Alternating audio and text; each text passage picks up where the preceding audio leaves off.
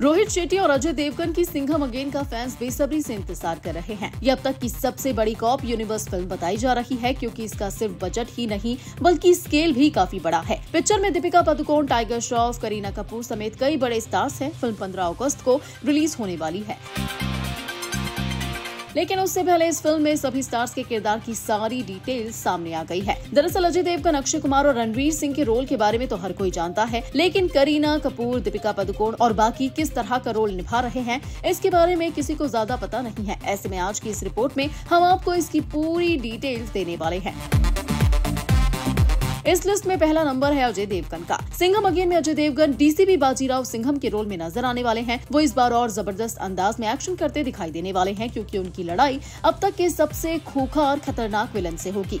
करीना कपूर। जी हाँ सिंघम अगेन में इस बार करीना कपूर की भी एंट्री हुई है। फ़िल्म में करीना अवनी कामत सिंघम के किरदार में है। कहा जा रहा है कि करीना फ़िल्म में अजय देवगन की वाइफ का रोल अदा करती दिखाई देने वाली है।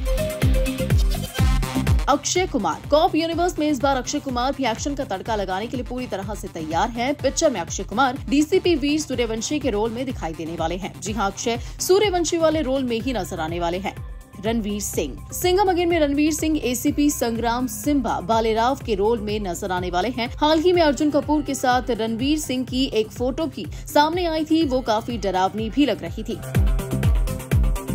दीपिका पादुकोण। रोहित शेट्टी की कॉप यूनिवर्स में दीपिका शक्ति शेट्टी उर्फ़ लेडी सिंघम के रोल में दिखाई देने वाली है। फैंस उन्हें पुलिस के रोल में देखने के लिए काफ़ी ज़्यादा एक्साइटेड नज़र आ रहे हैं।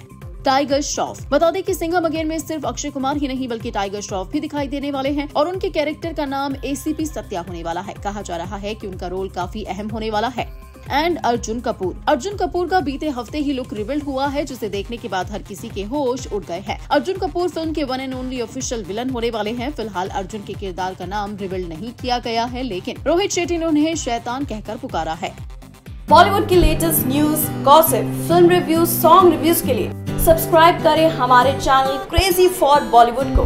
And yes don't forget to press the bell icon ताकि हमारे चैनल पे आई कोई भी नई इन्फॉर्मेशन आप बिल्कुल भी मिस ना कर पाए।